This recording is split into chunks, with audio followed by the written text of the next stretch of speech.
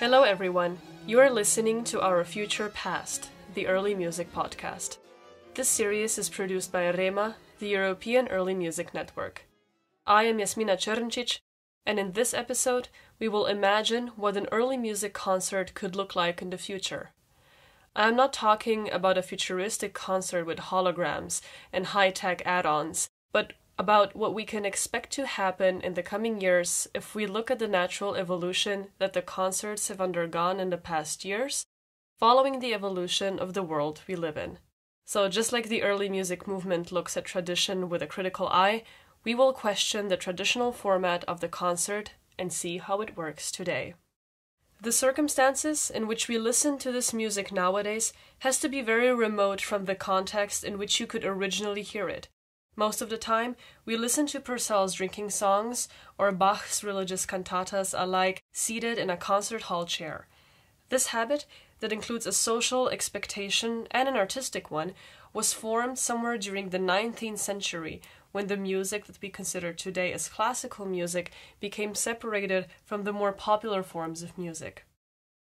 Only a part of the population would and could attend these concerts. This applies to any musical genre in any period. Each appeals to a specific community with identified habits. Or this is the case if no particular effort is made to challenge these habits and attract new audiences. As regards the innovation of the concert's shape, early music today faces two challenges. First, its audience is aging. For many reasons, the younger generations do not seem so interested in this type of concert experience. Today, the concert goer's social or geographical origin and age are a main focus in a venue's plan for developing audiences and welcoming new ones. The second challenge is that early music is the music of the past, a closed corpus of works that cannot be massively extended. There may still be a fringe of live composers working with early music, with new scores to be discovered, but the main body of available concert programs is more or less stable, and yet programmers enjoy this as a playground with limitations, but also opportunities. Let's start this episode with a few words from Bernard Foccroulle, who you already heard in a previous podcast. Bernard is the founder of Reseo, a network focused on the developing and involvement of new audiences in the opera sector. There is a, a key question to me that is addressed not only to the early music, but also to uh, the classical music in general and the opera field. It's a question of the audience. Who is audience, our audience? Who is not in our audience? And what do we do to enlarge substantially this audience? Let's look at the age of our audience. And certainly regarding opera, it's a big problem because if we don't take some specific measures, we don't have young people coming by themselves. But we know also that there are some opera houses that where uh, 25 or maybe 30 percent of the audience is made of young people. So it is possible. And when I go to Lyon or Strasbourg or Rouen, I see these young people just enthusiastic about what they hear, what they see, and I think it's not only an audience for the future, it's the best audience today.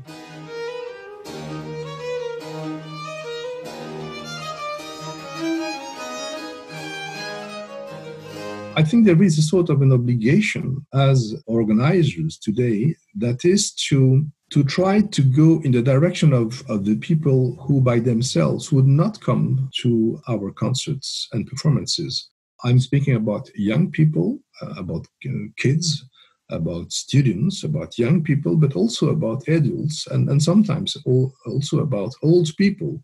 And uh, in my uh, experience, every time we welcome a new audience, it's something special for them and for the artists. So I think we, we get this privilege of sharing what we love with people who don't know about it, but who will be even more moved by the beauty of it than the people who know it very well. Um, and uh, I think this is a very important invitation, I think, for our uh, cultural world to work very fundamentally about those aspects and try to involve the audience in the most active way possible. We are not only performing music for passive spectators, but we are also trying not only to get them moved, but also to maybe take something from their own creativity. If that happens, I think then we really have reached the core of our mission.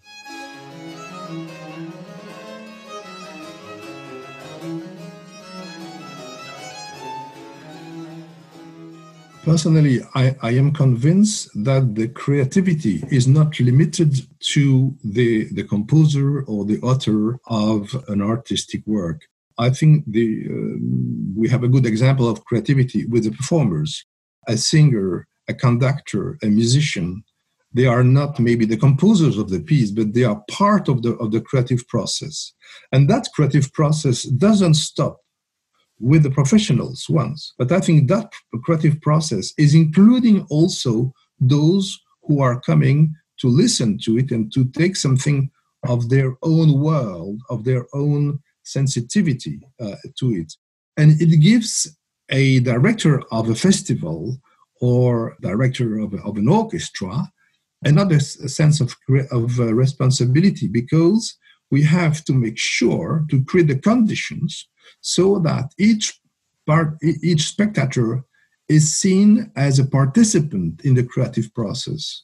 I think if we look at that in those terms, I think it opens a lot of perspectives that go far beyond what we can see today. And I very much believe that with uh, recent experiences that has been made in, in, the field of opera. I am speaking, for example, about the Birmingham Opera Company, who is doing with Graham Vick a, a fantastic job in bringing new communities to opera, but also in participating actively in opera.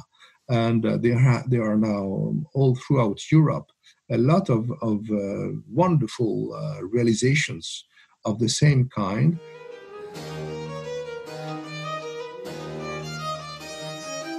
I think there are many ways to to, to renew the, the form of the concert, and they can be uh, visual elements. They can be uh, you, you can uh, have the the performers moving. You you can have the, the audience uh, moving.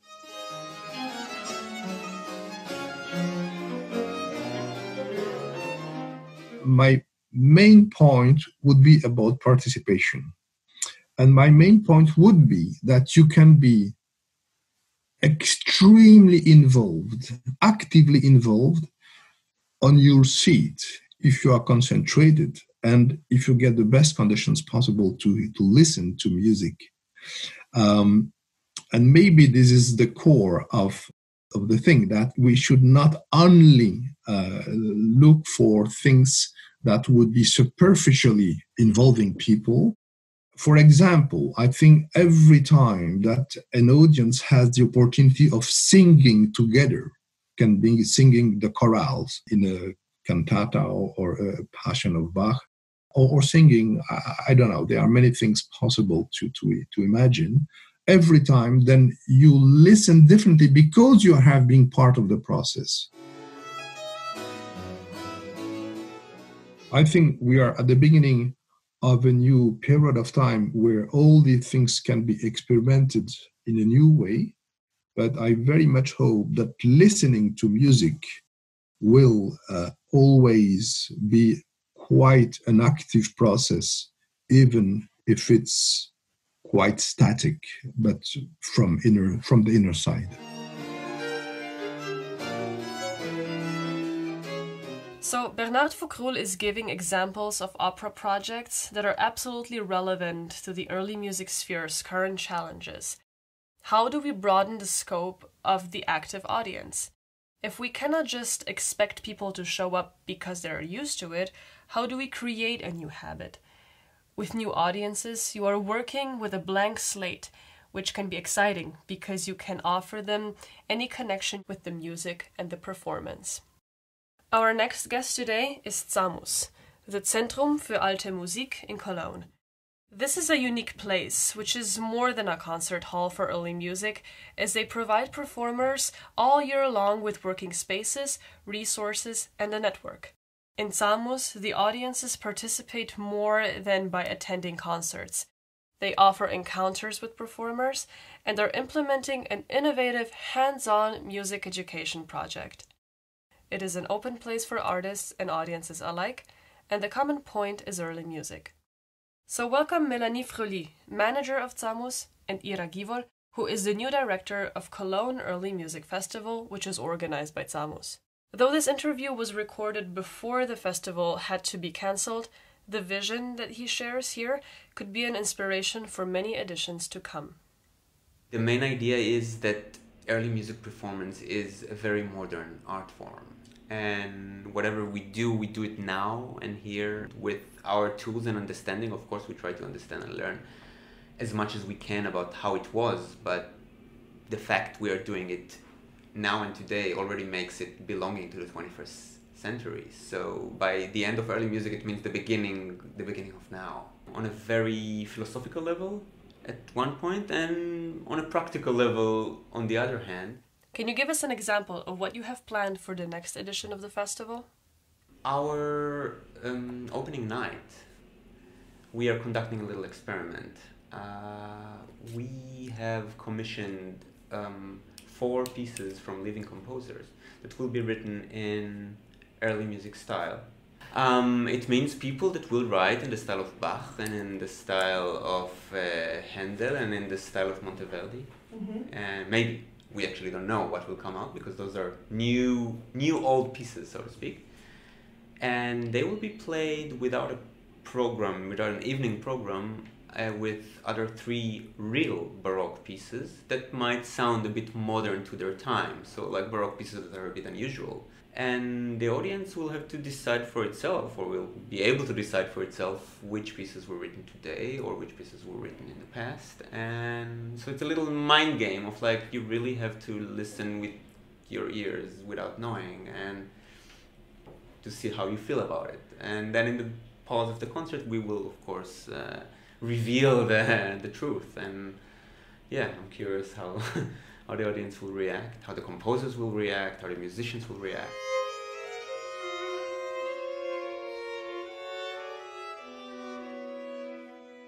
So, you obviously have plans for your audience.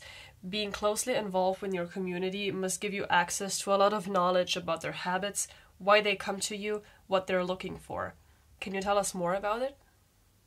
I think we have a lot of different people in our audience. For example, some people who are really fond of early music, for example, they know almost everything about early music and they wanted to hear something specific and to ask a lot of questions about how we can play the music and which kind of instrument and things like this. But we also have a young audience who just want to discover the music and just want to try different kind of concert. For example, we had last year some kind of concert with early music and poetry slam, slammer. I think mm-hmm. it's the same thing. And we also have people who just wanted to hear the poetry slammer, but they also discover early music. Um, it was a new thing for them, and I think they will come to the next concert. And it was really like this because three weeks after this, we also meet them in a concert only with Bach and things like this. So I think there is a lot of different people who are coming together.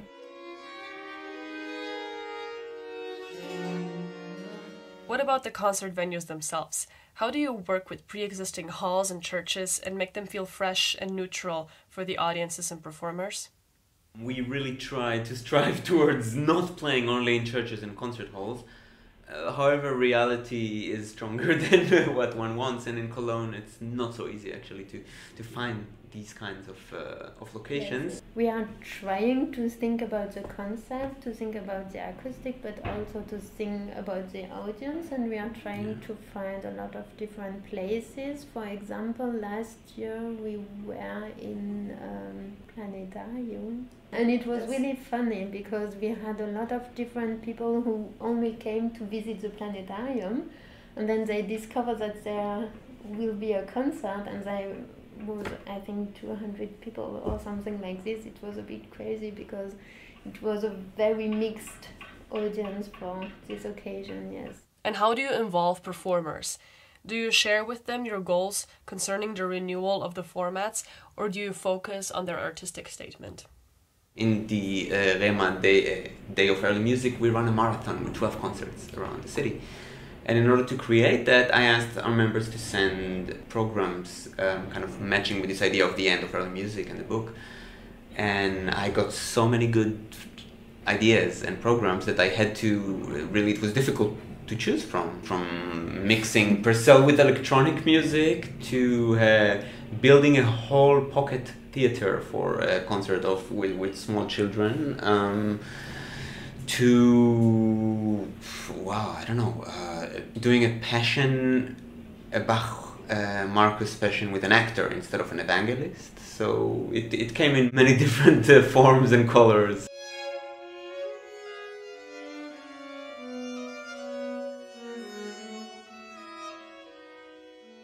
ZAMUS is really a unique organization because we are working with musicians and for the musicians. So that means it's really a bit different.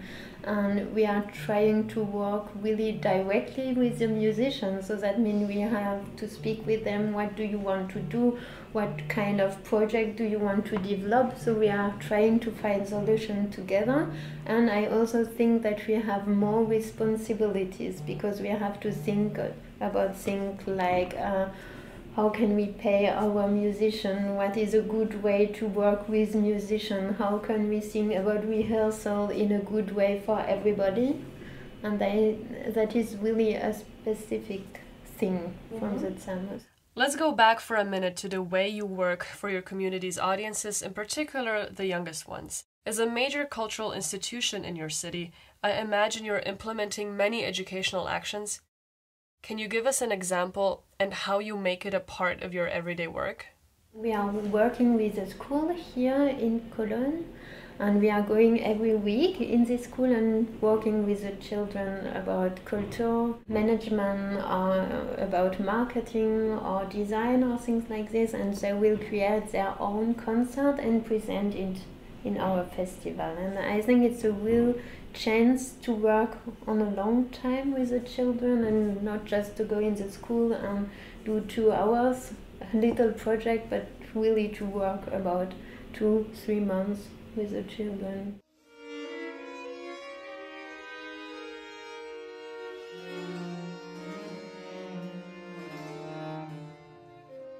this is maybe part of our job to take early music out of its little ghetto, uh, excuse the word, and bring it out to being a real part of the of the music world. Because yeah, on all the levels, the educational level, audience level, even in schools, there is some sort of a, you know, it feels like a niche still or a closed garden, and I think we would like to to make it uh, a valid, active part of the, the music world.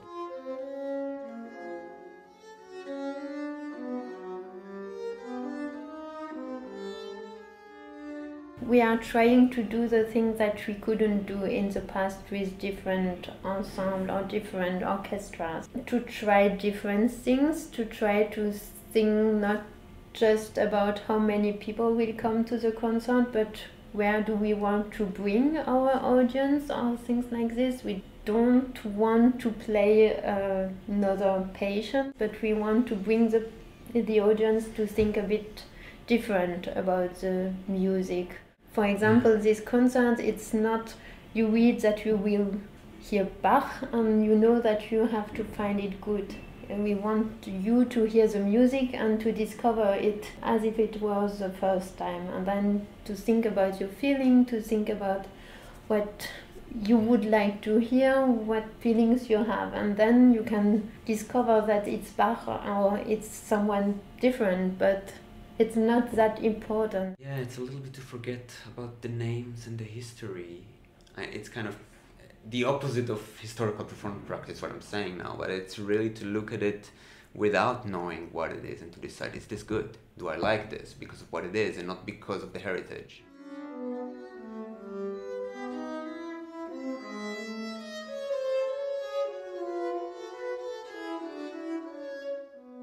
We became tradition, historical performance practice today. It's a very normal thing. I mean, there are hardly any Bach Passions with modern orchestras in Central Europe. It's quite rare, actually, to find one. So, kind of the revolution, if I may say, was uh, was successful. Uh, we are in the mainstream um, of, and almost every big orchestra now in Germany has to know something about about historical performance practice, or they have baroque bows, for instance, or they try to use.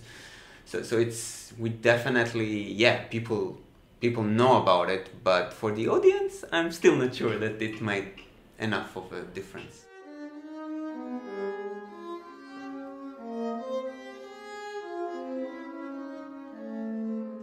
Don't try to educate our audience. It's, it's really about, about freedom yeah. for the audience. To be free from all the things you know about the early music, from all the things you know about the composer, but just to come, to listen, to try to hear everything you can hear, to take everything you can take from this concert. And if you want to have more information, that's not a problem, you will get it. But at the moment where you come, just be free to hear what we are proposing to you. It's basically free of the 19th century ceremony that is yeah. was is still very strong even in historical performance. There is a conductor, there is a stage, and the audience is separated from the stage, and yeah, we want to to make people kind of realize that they don't have to listen like that. And it's not about doing crazy thing or changing the music. It's only no. to present the music a bit different. And I think that it's really a question of freedom. It's actually not what we play, but how. this is what makes something an early music performance because today it stretches into the beginning of the 20th century mm-hmm. on paper, but it's, it's really not about the, the pieces themselves, but about how you approach them and how your audience approaches them, that it's a two way street.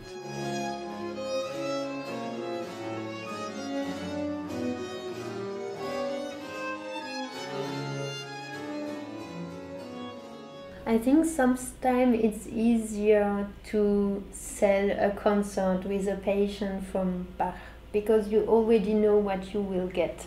So it's really the easiest way. But there is a lot of different concert halls who are doing this.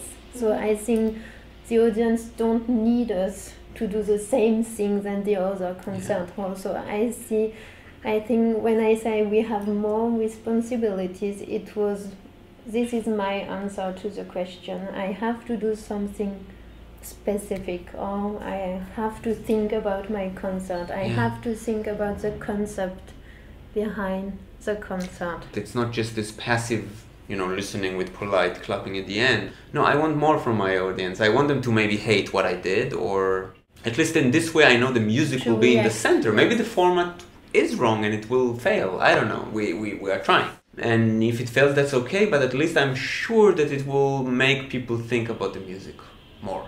And that's that's the that's the point of it. I i really hope we will get to a situation that it's a little bit like when a pop uh, band is playing. You don't ask yourself oh what songs are they going to do? They don't know what songs are they going to do yet.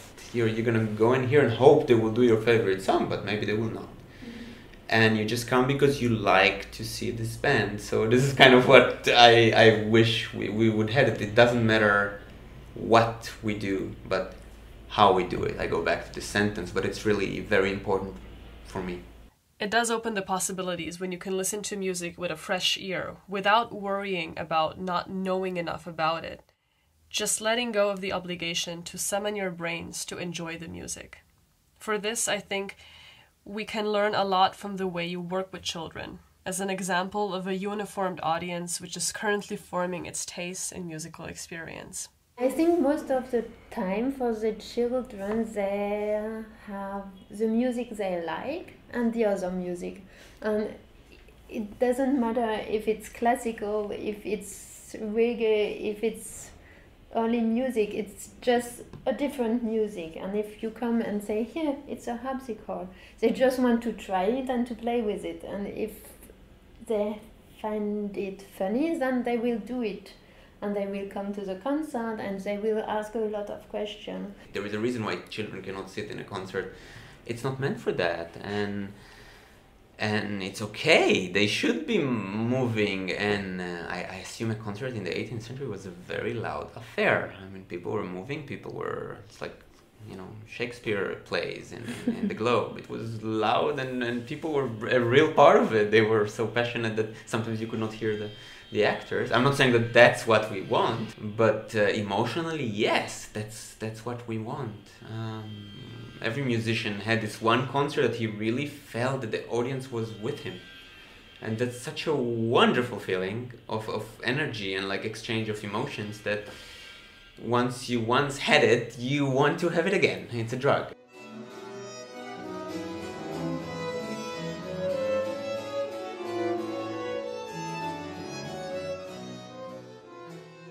Thank you, Melanie Froehly and Ira Givol, for sharing how programming for ZAMUS brought you to consider your audience's expectations and put into words what you want to do with it. Should we indulge them or send them out of their comfort zone?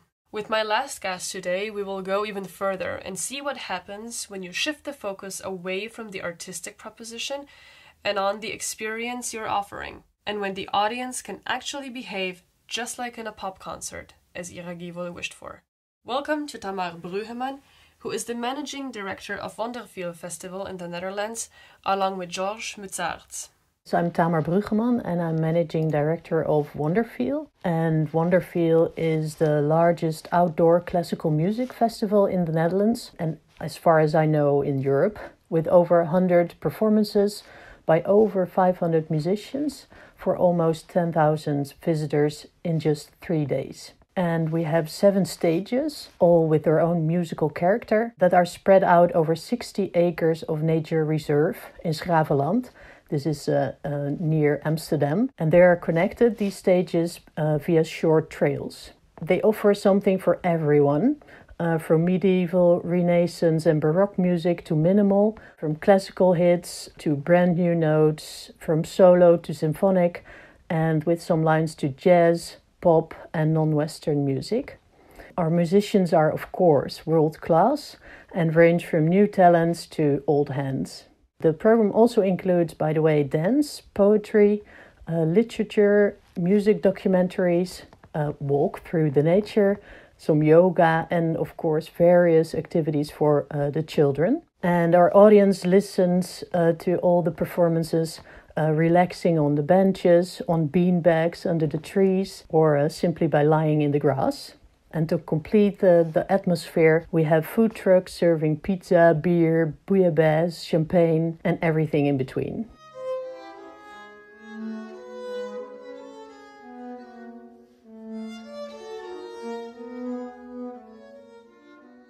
One of the characteristics actually of the festival it's based on on the formula of a pop festival. So we are selling day tickets and we have a, a full festival schedule with parallel programming and we have a campsite in walking distance of the festival site just like a pop festival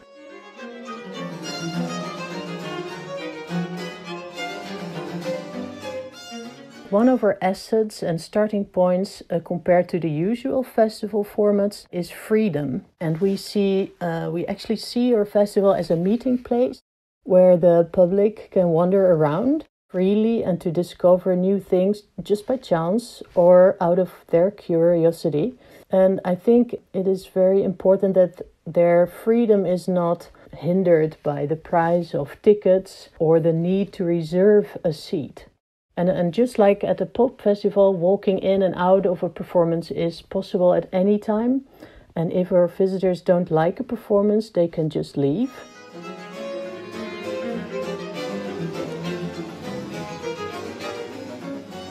We not only cherish the freedom of our visitors, but also the freedom of our musicians and curators. Our musicians are free to try out new concepts and programs and they can make use of the possibility offered by the outdoor festival site.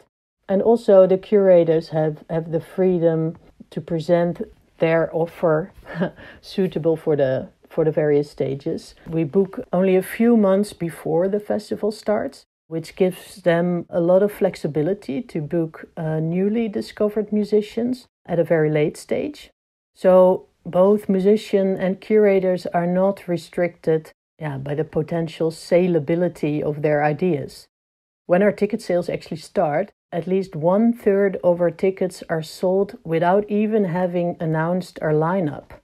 We know this from our audience survey. And this, knowing this, it gives uh, our curators the possibility to actually present riskier performances. And we never choose uh, to invite a more popular performance because um, we want to, to, to attract uh, more people.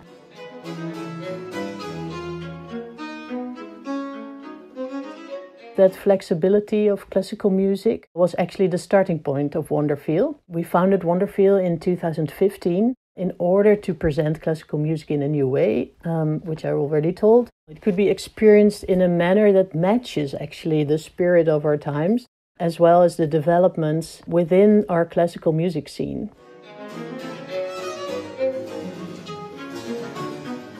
I think we over the past decade we all have seen a growing desire for innovation in the classical music sector.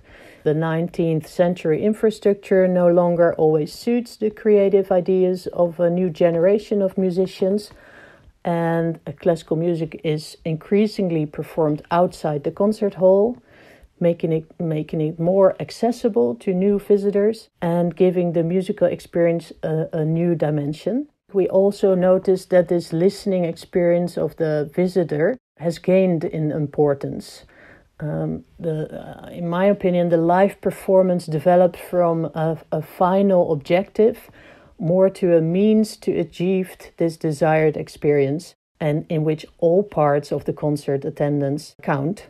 Classical music became and, and still becomes more and more demystified in a way. The distance be, between creators, musicians, composers, and listeners uh, is reduced. In the Netherlands, all kinds of accessible TV programs about classical music and the performers appeared, and uh, many Dutch pop festivals, such as Lowlands, Into the Great Wide Open, and Down the Rabbit Hole, uh, also started to program classical music.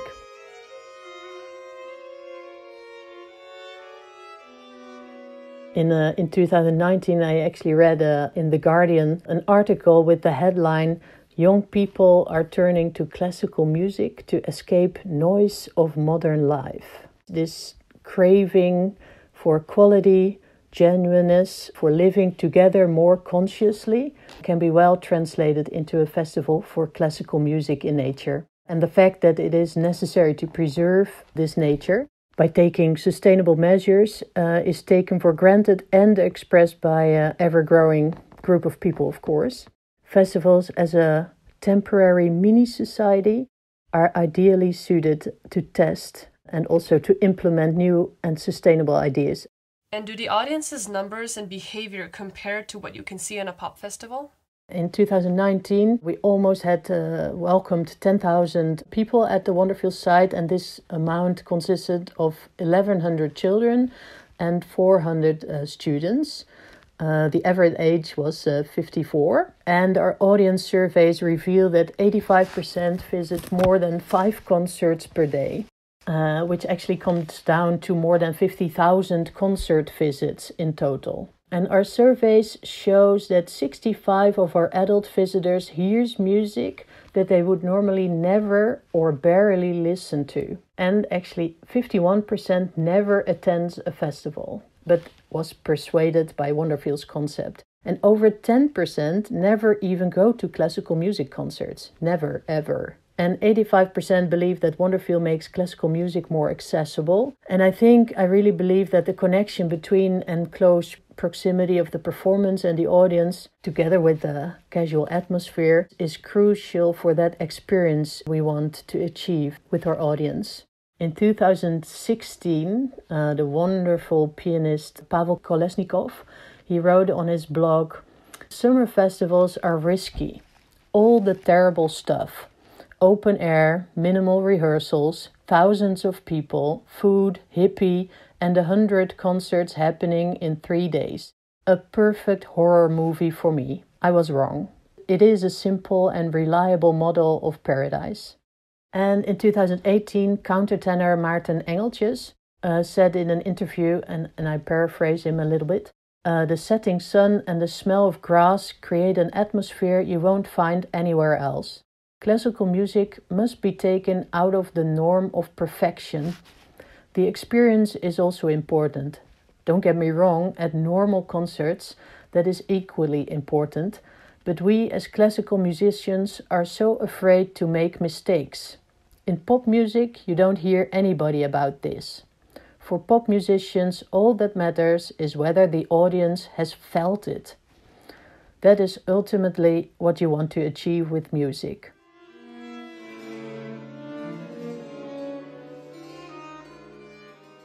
With Wonderfeel, we also want to have uh, an impact on people's mind. And um, I think at, at, at Wonderfeel, as, as actually at any festival, our visitors are, are briefly detached from their daily lives and habits, and uh, of course, from their usual time experience and their normal occupation and use of space. A festival is actually a, a temporary society on, on scale their temporary society on scale, and um, where we can share our ideals and dreams uh, about the future. And I hope that at Wonderfeel we give our musicians and speakers the opportunity to share uh, their stories and their interpretation or, or reflection of our time.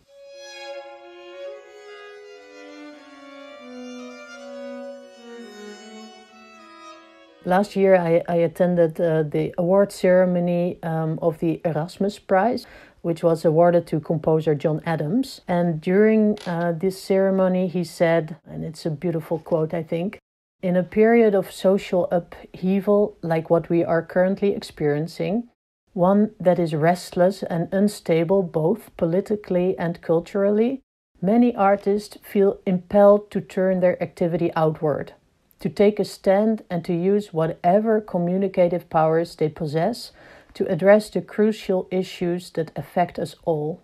One might imagine that because the current mood, not only in the United States but here in Europe as well, is taking such a conservative turn, fearful of change and determined to preserve the status quo, so must artists feel compelled to respond by using the communicative power of art to address just those issues, whether they be social or environmental, that they feel government is ignoring.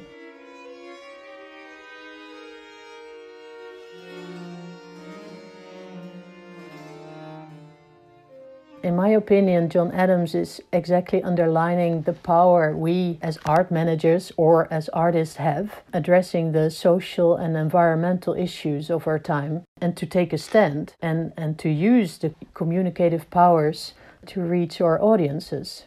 Uh, we have to use that festival format, these societies at scale, to put those social and environmental issues at the table. And of course, being an outdoor festival with a preoccupation for nature, you also work with your environment and the weather on a daily basis. How has this made you include a goal of sustainability in the concept of Wonderfeel? Our first uh, edition in 2015 was hit by a, a huge summer storm, and we indeed had to cancel one day of our festival, resulting in a, in a huge deficit. The measures we're taking uh, for this is, of course, we use tents so people uh, are sitting dry when, when it starts raining. It's very useful in the Netherlands. But also, on the other hand, uh, two years ago it was very drought year, and we couldn't use open fire. And we always end the day of our festival by singing together, uh, sitting around a, a campfire. This is simply, we just ad- adjusted it a little bit, and singing is also possible without a campfire, of course. But um, yes, weather conditions, well, determining how we organize the festival. But so is everything organizing in a nature reserve. Following the words of John Adams, taking a stand, we couldn't organize Wonderfeel uh, without striving to preserve that same nature in a sustainable way. I mean, we have to create awareness on the use of water, energy, waste, and transportation. I, I mean, we use electric cars to transport artists, but we also encourage our international artists uh, to travel by train. And last year, uh, all, all the musicians from London and Brussels traveled by the Eurostar. But also, we increased the festival goers' awareness of our shuttle buses and we encouraged them to, to come to Wonderfeel by public transport or, or bicycle, of course. And we also provide charging stations for electric cars and bicycles. Next to the transportation, we, we like to look at, at our waste as, uh, as raw material. Last edition, Wonderfeel was almost waste free. All consumables are immediately reusable or recyclable or locally compostable.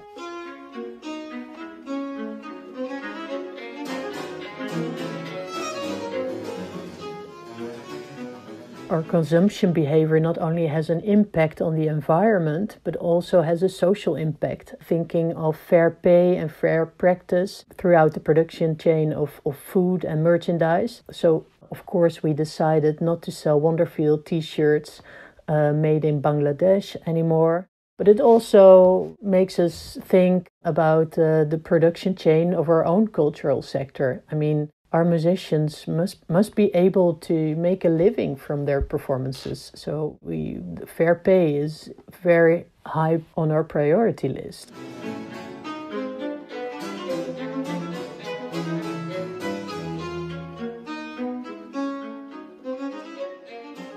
Accessibility is also about uh, more accessibility for people, for disabled persons, or single elderly people or, or even newcomers, refugees, migrants. Many status holders have, have few opportunities to participate in, in, in the Netherlands, in, in our society, to remain active and to build uh, a new network, let alone to gain work experience next edition, hopefully in 2021, we will invite, in close cooperation actually with a, with a specialized organization, uh, a number of refugees to join our volunteers team. You're working with the audience's experience in mind, which is why you take such an interest in knowing your audience, where they come from before participating, but also what they enjoyed most in Wonderfeel. I'm very curious to know what these surveys show regarding the people who have discovered something new during the festival. In the survey, we see, as, as I mentioned before, that 65% of the adult visitors hears music that they would normally never or barely listen to. I mean, they, they hear music that is new for them, and maybe they like it. Maybe they listen to it again.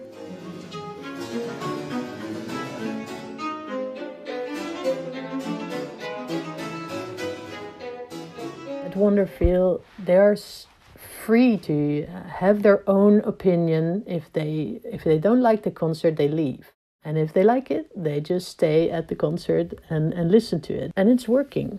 I mean, I really like that that people are listening to concerts they they would never have imagined listening to or never heard of the artist. You're not buying a, a concert ticket for a completely new upcoming strange artists you've never heard of with music style you don't even heard of or never liked before. I mean, why would you spend 25 euros on that? And at Wonderfeel, I mean, they they visit like more than five concerts a day, so you have the the time and and the space to to experience new things. This shows us how taking the music out of the concert hall puts the organizers in a situation where they have to look at the bigger thing, and every decision they make is political, meaning that they have an impact on their community life and also on the experience they provide for the audience. This sounds like a really exciting journey, both for you as organizers and for the audience. But what about the performers? Do they feel the difference? We invite musicians that are curious about um, performing at Wonderfeel, whether they uh, play medieval music or sing William Byrd Mass or play minimal uh, music by Arvo Pärt or whatever. I think everything suits our festival as long as as the performer is sincere. I mean, this this counts for every stage, every concert hall, but especially at Wonderfeel.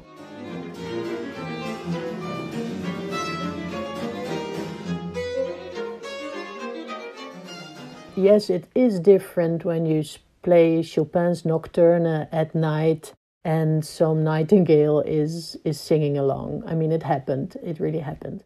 everything is is giving input to their way of performing but i think for us this in, intimate atmosphere the closeness to the audience between the audience and the musician that is the most important and with the nature as a very relaxed and intensifying decor Thank you for sharing with us the motivations behind your Wonderfeel Festival and describing how it works. This is an excellent conclusion to this episode of the Early Music Podcast. I thank the representatives of ZAMUS and Wonderfeel for sharing their values with us today and explaining how their vision of the experience of music has shaped the format of their concerts. There are striking common points here. For instance, the importance of talking to a community, we also heard a lot today about how important freedom is for the audience to enjoy music, make their own minds about it, and form their own taste. This is the Early Music Podcast, and the music you have been hearing along this episode was recorded by ZAMUS and their performers. This podcast series is a preparation for the upcoming European Early Music Summit that will take place in Beaux-Arts in November 2020. It will assess the state of early music today and take a critical look at its practices and evolution. The next episodes will give you an overview of the topics that will be debated during this three day conference. So stay tuned for more insight into the lives and ideas of your favorite performers, to know what your favorite concert halls are up to these days, and get to know in advance what you can expect for the next years of live or recorded music and exciting research projects. See you next week for more episodes.